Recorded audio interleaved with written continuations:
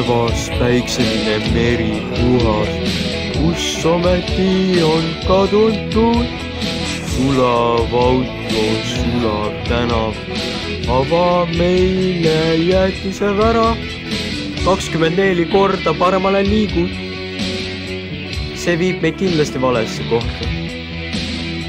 kui ära eksin, siis sa piilud meile otsa, et ma hakkaks orienteeruma. Uus-Meremaa, tere taas, mul on haigelt déjà vu faas, minu lemmikkoht, kus elada saaks.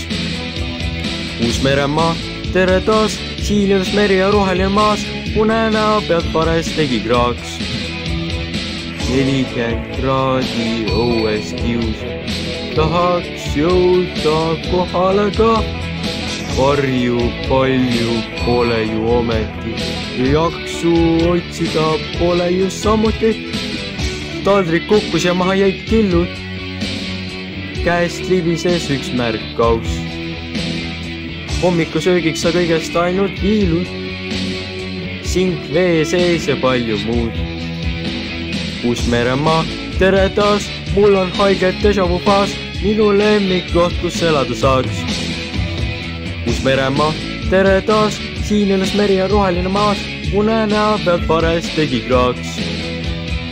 Palju möla, palju jama, kas me saaks palun vaikida? Lähed kohe närvi sekundiga, probleem on tegelikult lihtsalt lahendatav. kohanimi, kohanimi, milleks neid vaja on elekter ei saa puhatagi. iga kilomeetri tagant uus koht. Uus-Meremaa, tere taas, mul on haigelt déjà vu faas, minu lemmikkoht, kus elada saaks. Uus-Meremaa, tere taas, siin ilus meri ja roheline maas, unenäo pealt parajasti kraaks.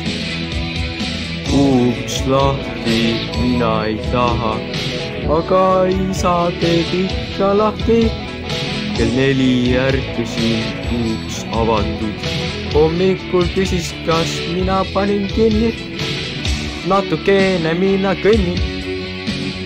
Lähen pooleteist tunniks ära ma. neli tundi ometi hiljem. punakas kõndis viisteist kilomeetrit.